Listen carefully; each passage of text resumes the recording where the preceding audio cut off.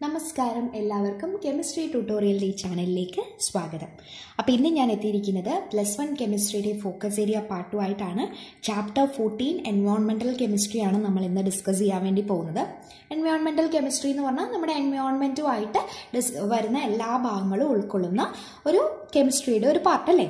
Yes നമുക്ക് പഠിക്കാനുള്ളത് ട്രോപ്പോസ്ഫിയറിക് pollution അതായത് നമ്മുടെ ട്രോപ്പോസ്ഫിയർ അറ്റ്മോസ്ഫിയർ പല ഭാഗങ്ങളായിട്ട് തിരിച്ചിട്ടുണ്ടല്ലോ. അവിടെ ട്രോപ്പോസ്ഫിയറിൽ കാണുന്ന അൺഡിസൈറബിൾ ആയ സബ്സ്റ്റൻസ് അവരുണ്ടാക്കുന്ന നമുക്ക് ആവശ്യമില്ലാത്ത സാധനങ്ങൾ ട്രോപ്പോസ്ഫിയറിൽ വന്നു കഴിഞ്ഞാൽ അതെന്തായി? പൊല്യൂട്ടഡ് ആയി. ഓക്കെ അപ്പൊ presence of undesirable solid or gaseous particle in lower layer of atmosphere അതായത് ട്രോപ്പോസ്ഫിയറിൽ ലോവർ ലെയർ ഓഫ് അറ്റ്മോസ്ഫിയർ എന്ന് പറഞ്ഞാൽ ട്രോപ്പോസ്ഫിയറിൽ നമുക്ക് ആവശ്യമില്ലാത്ത ഏതെങ്കിലും സാധനം. ഇത് സോളിഡ് ആവാം ഗേഷ്യസ് ആവാം അവരുടെ പ്രസൻസ് ആണ് ട്രോപ്പോസ്ഫിയറിക് പൊല്യൂഷൻ എന്ന് പറയുന്നത്.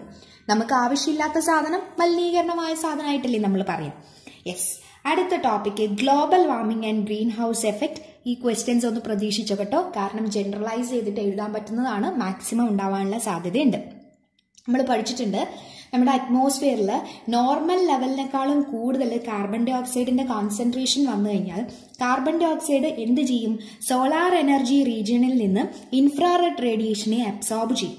അപ്പോൾ അത് അബ്സോർബ് ചെയ്തിട്ട് ചെയ്യുമ്പോൾ നമ്മുടെ ഏർത്തിന്റെ അറ്റ്മോ ടെമ്പറേച്ചർ അങ്ങോട്ട് കൂടാൻ വേണ്ടി തുടങ്ങും. ഓക്കെ നോർമൽ ലെവലിൽ നിന്ന് കാർബൺ ഡൈ ഓക്സൈഡിന്റെ കോൺസെൻട്രേഷൻ ഇൻക്രീസ് ആകുമ്പം ആ കാർബൺ ഡൈ ഓക്സൈഡ് സോളാർ റേസിൽ നിന്ന് ഇൻഫ്രാറെഡ് റീജിയൻ ഇൻഫ്രാറെഡ് റേഡിയേഷനെ അബ്സോർബ് ചെയ്യാൻ വേണ്ടി തുടങ്ങും. അപ്പോൾ ഏർത്തിന്റെ ടെമ്പറേച്ചർ കൂടും. അതിനെയാണ് നമ്മൾ ഗ്രീൻ ഹൗസ് എഫക്റ്റ് എന്ന് പറയുന്നത്. Later it is global warming ആയിട്ട് കൺവേർട്ട് ചെയ്യും. അതായത് ചൂട് കൂടിയിരിക്കുന്ന അവസ്ഥ. അപ്പൊ ചൂട് കൂടാൻ ചൂടി ചൂട് കൂടിക്കഴിഞ്ഞാൽ എന്ത് സംഭവിക്കും? നമ്മുടെ പോളാർ റീജിയൻസ് ഒക്കെ മെൽറ്റ് ആവാൻ തുടങ്ങും. Global temperature average global temperature കൂടി കഴിഞ്ഞ് കഴിഞ്ഞാൽ ഗ്ലോ നമ്മുടെ ഐസ് ക്യാപ്പൊക്കെ ഉരുകാൻ തുടങ്ങിക്കഴിഞ്ഞ് കഴിഞ്ഞാൽ ഫ്ലഡ് ഉണ്ടാവാം. ഇൻഫെഷ്യസ് ഡിസീസസ് വരാൻ തുടങ്ങും. ഫ്ലഡൊക്കെ ഉണ്ടായി കഴിഞ്ഞാൽ ഫ്ലഡ് വെള്ളപ്പൊക്കം നമ്മൾ കണ്ടതാണല്ലേ? അതിന്റെ ആഫ്റ്റർ എഫക്റ്റ് ഒക്കെ വളരെ ഡേഞ്ചർ ആയിട്ട് നമ്മൾ കണ്ടതാണ്. അപ്പോൾ അതിലേക്കൊക്കെ ലീഡ് ചെയ്യും. അപ്പോൾ ഗ്ലോബൽ വാർമിങ്ങിന്റെയും ഗ്രീൻ ഹൗസിന്റെയും അഡ്വേഴ്സ് എഫക്റ്റ് ചോദിക്കുമ്പോൾ നമുക്ക് എന്തൊക്കെ പറയാം? Average global temperature ഉയരുമെന്നും melting of polar ice polar ice cap melt ആവുമെന്നും അത് ഫ്ലഡിലേക്ക് ലീഡ് ചെയ്യുന്നു ഇൻഫെഷ്യസ് ഡിസീസസിനും ഒക്കെ കാരണമാവും. ഇനി ഇതാരാ ഉണ്ടാക്കുന്നതെന്ന് അറിയണ്ടേ ഏത് ഗ്യാസസ് ആണോ ഗ്രീൻ ഹൗസ് എഫക്റ്റ് ഉണ്ടാക്കുന്നത്? അവർ നമ്മളെ ഗ്രീൻ ഹൗസ് ഗ്യാസസ് എന്നാണ് പറയാ. ഗ്യാസസ് നോട്ട് ചെയ്തോ? കാർബൺ ഡൈ ഓക്സൈഡ് വരാം മീഥെയിൻ ക്ലോറോ ഫ്ലൂറോ കാർബൺ നമ്മൾ അതിനെ ചുരുക്കി സി എഫ് സി എന്ന് വിളിക്കും. പിന്നെ നൈട്രസ് ഓക്സൈഡ് ഒക്കെ വരാം. ഓക്കെ ഇനി measures to reduce global warming എങ്ങനെയാണ് ഗ്ലോബൽ വാർമിംഗ് നമുക്ക് കൺട്രോൾ ചെയ്യാൻ പറ്റുക? അതായത് ഫോസിൽ ഫ്യൂൽസ് കത്തുന്നത് നമുക്ക് കുറക്കാം. ഒരുപാട് പ്ലാന്റ് നമുക്ക് നടാം. എഫോറസ്റ്റേഷൻ അല്ലേ? Then avoid burning of dry leaves നമ്മൾ ഉണങ്ങിയ ഇലകളൊക്കെ കത്തിക്കാറുണ്ട്. അതൊക്കെ ഒന്ന് നിർത്തിവെക്കുക അവെയർ ദ പബ്ലിക് പബ്ലിക്കിനെ ഒന്ന് ബോധവൽക്കരണം നടത്തുക. To the bad effect of global warming അത് നമുക്ക് എല്ലാത്തിലും എഴുതാം കേട്ടോ. ദെൻ അടുത്ത ടോപ്പിക്കാണ് ആസിഡ് റെയിൻ അതായത് റെയിൻ വാട്ടറിന് ഒരു പി എച്ച് ഉണ്ട്. ഓക്കെ അതിന്റെ പി എച്ച് ഫൈവ് പോയിന്റ് സിക്സിനെക്കാളും താഴെ വരുമ്പം ആ റെയിനിന് നമ്മൾ ആസിഡ് റെയിൻ എന്നാണ് പറയാം ഇതെങ്ങനെയാ സംഭവിക്കുന്നതെന്ന് വെച്ച് കഴിഞ്ഞാൽ നമ്മുടെ അറ്റ്മോസ്ഫിയറിൽ നൈട്രജന്റെയോ അല്ലെങ്കിൽ സൾഫറിന്റെയൊക്കെ ഓക്സിജൻ നമ്മുടെ അറ്റ്മോസ്ഫിയറിൽ എത്തുമ്പോൾ അത് റെയിൻ വാട്ടറിൽ ഡിസോൾവ് ആകുമ്പോൾ ആസിഡായിട്ട് മാറുകയാണ്. ഇത് കൂടുതലും നമ്മുടെ ഫാക്ടറീസ് ഓട്ടോമൊബൈൽസ് ഒക്കെ കൂടുതലുള്ള സ്ഥലങ്ങളിലാണ് ഇവരുടെ ഓക്സിജൻ അറ്റ്മോസ്ഫിയറിൽ കൂടുന്നത്. അപ്പോൾ അവർ റെയിൻ വാട്ടറിൽ ഡിസോൾവ് ചെയ്യുമ്പോൾ ആസിഡായിട്ട് മാറും. അപ്പൊ ആസിഡ് റെയിന്റെ എഫക്റ്റ് എന്തൊക്കെയാണ്? അത് അഗ്രികൾച്ചർ ആസിഡ് വീണാൽ തന്നെ നമുക്കറിയാം മോശമാണെന്നല്ലേ അപ്പൊ പ്ലാന്റ്സിന്റെ മുകളിൽ ട്രീസിലൊക്കെ ഈ നമ്മുടെ ആസിഡ് വീണ് കഴിഞ്ഞാൽ അതൊക്കെ അവർക്കൊക്കെ മോശമാണ്. സ്കിന്നിൽ തട്ടിയാലോ? നമ്മുടെ സ്കിന്നിൽ ആസിഡ് മറിഞ്ഞാൽ പൊള്ളും. അപ്പോൾ ആസിഡ് റെയിൻ വീണാൽ എന്ത് സംഭവിക്കും? ഇതുപോലുള്ള സ്കിൻ ഡിസീസസ് ഉണ്ടാവാം. പിന്നെ അക്വാട്ടിക് എക്കോസിസ്റ്റത്തിന് പ്ലാന്റ്സിനും ഒക്കെ ഇത് ഡേഞ്ചറാണ് പിന്നെ മെറ്റൽസിന്റെ മുകളിൽ വീണാൽ എന്ത് സംഭവിക്കും? ആസിഡ് മെറ്റൽസിന്റെ മുകളിൽ വീണാൽ കൊറോഷൻ സംഭവിക്കാം. കൊറോഡ്സ് ആവാനുള്ള ചാൻസ് ഉണ്ട്. പിന്നെ ബിൽഡിങ് സ്റ്റോൺ ഇവർക്കൊക്കെ എന്ത് സംഭവിക്കും? ഡാമേജസ് ഉണ്ടാവാനുള്ള ചാൻസ് ഉണ്ട്. ഇവിടെ വരാൻ ചാൻസ് ഉള്ള ഒരു ക്വസ്റ്റ്യൻ മക്കളെ നോട്ട് ചെയ്തു. താജ്മഹൽ നമ്മൾ പറഞ്ഞിട്ടുണ്ട്. ഷാജഹാൻ ചക്രവർത്തി മുംതാസിന്റെ ഓർമ്മയ്ക്ക് വേണ്ടി പണി കഴിപ്പിച്ചത് അല്ലേ പക്ഷേ അത് നമ്മൾ ഒരുപാട് കാലം വൈറ്റ് കളറിൽ നല്ല തിളക്കമുണ്ട് എന്നൊക്കെ പറഞ്ഞ് പഠിച്ചതാണ്. ഇപ്പം അതിന്റെ കളറ് ഡേ ടു ഡേ ഓരോ ദിവസം കഴിയുന്നതിനനുസരിച്ച് അത് മങ്ങിപ്പോകുന്നുണ്ട് കാരണം ആ റീജിയനിൽ ആസിഡ് റെയിൻ വളരെ കൂടുതലാണ്. ഡൽഹിയിലെ ഒരുപാട് ഫാക്ടറീസൊക്കെ വർക്ക് ചെയ്യുന്ന ഒരു ഏരിയ ആണ്. അപ്പോൾ അവിടെ എസ് ഒ ടുവിന്റെയും എൻ ഒ ടുവിന്റെയൊക്കെ എമൗണ്ട് കൂടി കൂടി വരുന്നതുകൊണ്ട് ആസിഡ് റെയിനുള്ള സാധ്യതയുണ്ട്.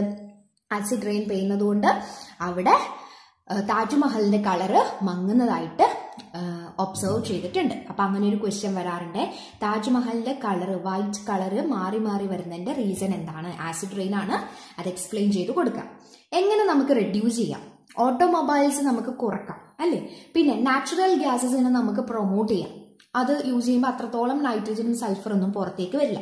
പിന്നെ കാറ്റലിറ്റിക് കൺവേർട്ടർ വെഹിക്കിൾസിൽ ഫിക്സ് ചെയ്യാം. ഇത് എന്ത് ചെയ്യുന്ന വെച്ചാൽ കാർബൺ മോണോക്സൈഡ് പോലുള്ള ഓക്സൈഡ്സിന്റെ അളവ് ഒന്ന് മിനിമൈസ് ചെയ്യും കുറച്ച് കളയും പിന്നെ നമുക്ക് പബ്ലിക് അവയർനെസ് അതൊക്കെ നമുക്ക് എഴുതാവുന്നതാണ്. പിന്നെ വരുന്ന ഒരു ടോപ്പിക്ക് വാട്ടർ പൊല്യൂഷൻ ആയിട്ട് റിലേറ്റ് ചെയ്തിട്ട് വരുന്ന ബയോകെമിക്കൽ ഓക്സിജൻ ഡിമാൻഡ് അതിന്റെ ഫുൾ ഫോം പഠിക്കണം. ബയോകെമിക്കൽ ഓക്സിജൻ ഡിമാൻഡ് ബി എന്ന പേരിലാണ് അറിയപ്പെടുന്നത്. ഇത് നമ്മുടെ വാട്ടറിന്റെ ഒക്കെ പ്യൂരിഫിക്കേഷൻ ഒക്കെ ആയിട്ട് റിലേറ്റ് ചെയ്തിട്ട് വരുന്ന ഒരു ടോപ്പിക്കാണ് അതിന്റെ ഡെഫിനേഷൻ പഠിക്കണം. അതായത് ഒരു സാമ്പിൾ ഓഫ് വാട്ടറിൽ അതിന്റെ അകത്ത് ഓർഗാനിക് മാറ്റേഴ്സ് ഉണ്ടാവുമല്ലോ. അതിനെ ബ്രേക്ക് ചെയ്യാൻ ബാക്ടീരിയാസിന് എത്ര ഓക്സിജൻ ആവശ്യമുണ്ട് അതിനെയാണ് ബയോകെമിക്കൽ ഓക്സിജൻ ഡിമാൻഡ് എന്ന് പറയാം. Amount of oxygen required to break down the organic matter present in a certain volume of sample of water by bacteria bacteria ആണ് എന്ത് ചെയ്യുക? ഓർഗാനിക് മാറ്റേഴ്സിനെ ബ്രേക്ക് ഡൗൺ ചെയ്യുക. അതിന് ആര് വേണം? ഓക്സിജൻ വേണം. അതിന് എത്രത്തോളം ഓക്സിജൻ വേണം എന്നതിനെയാണ് ബി ഒ ഡി എന്ന് പറയുന്നത്. Clean വാട്ടറിന് five P P M parts per മില്യണിലാണ് നമ്മൾ ബയോകെമിക്കൽ ബി ഒ ഡി പറയുക. ഫൈവ് പി പി എം റേഞ്ചിലാണ് വരിക. ഹൈലി പൊല്യൂട്ടഡ് വാട്ടർ ആണെങ്കിൽ സെവന്റീൻ തൊട്ട് മുകളിലോട്ടാണ് ബി ഒ ഡിയുടെ വാല്യൂസ് വരിക. അതെ പൊല്യൂഷൻ കുറയ്ക്കാൻ വേണ്ടി കെമിസ്ട്രി ഈ അടുത്ത കാലത്തായിട്ട് ഇൻട്രൊഡ്യൂസ് ചെയ്തൊരു ബ്രാഞ്ചാണ് ഗ്രീൻ കെമിസ്ട്രി അല്ലെങ്കിൽ സബ്സ്റ്റൈനബിൾ കെമിസ്ട്രി എന്ന് പറയും. ഓക്കെ ഈ ഏരിയ എന്താ ഫോക്കസ് ചെയ്യുന്നതെന്ന് വെച്ച് കഴിഞ്ഞാൽ മാക്സിമം എന്താ പറയുക മിനിമം ഡേഞ്ചറസ് സബ്സ്റ്റൻസ് പുറത്തേക്ക് വിടുക.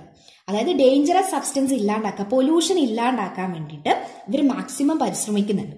അതായത് ഈ ബ്രാഞ്ച് ഫോക്കസ് ചെയ്യുന്നത് എങ്ങനെ ഡേഞ്ചറസ് ആയ സബ്സ്റ്റൻസ് ഇല്ലാണ്ടിരിക്കാം? ഒരു റിയാക്ഷൻ വഴി.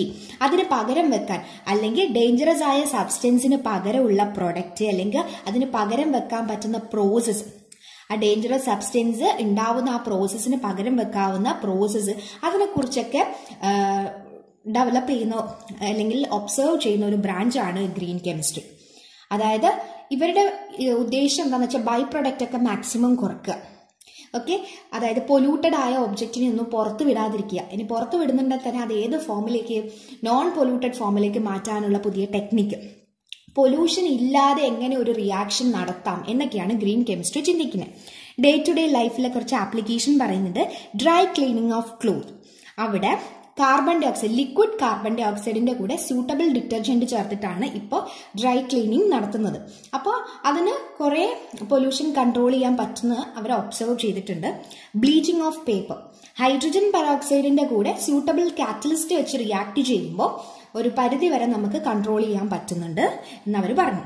പിന്നെ synthesis of chemicals maximum one സ്റ്റെപ്പിൽ ബൈ പ്രൊഡക്റ്റ് ഇല്ലാതെ ഒരുപാട് കെമിക്കൽസ് സിന്തസൈസ് ചെയ്യാനുള്ള മെത്തേഡ്സ് അവർ ഇൻട്രൊഡ്യൂസ് ചെയ്തിട്ടുണ്ട്.